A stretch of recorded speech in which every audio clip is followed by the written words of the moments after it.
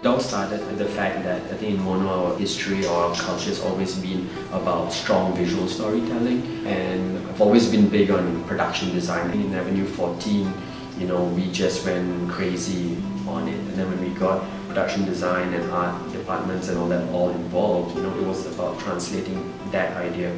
The design for Avenue 14 and all our unique sets that we had to kind of put in from scratch were all kind of put in uniquely for the purpose of serving the character or the episode or the situation. Our main character, Thursday, discovers that her mother used to have this, you know, headquarters where she does her investigation. And in a way, it's like her own bat cave.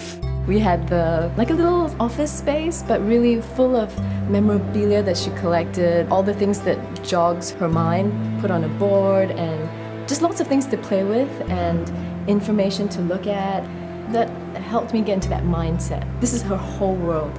This is all she thinks about. This is all she dreams about. This is like she's trying to put all the pieces together like a huge jigsaw puzzle. Um, quite fascinating. Based on the things they had in Avenue 14, that allowed me to sort of get my head into how does my mom used to think. And then at the same time, I realized that we both have this similarity. And drawing that inspiration from that room I was able to sort of like get into character a lot easier as well, into that whole investigative mode.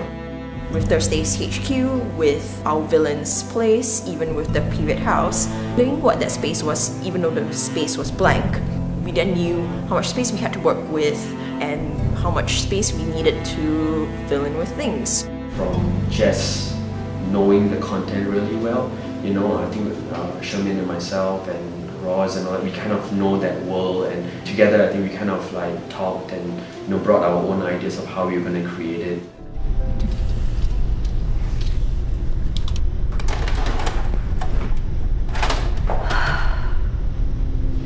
I guess what I wanted to say is I know it will be frightening. I know it will be a lot of hard work. People will think I'm crazy. Some of them already do. But this, this will be my legacy. Something I can leave behind for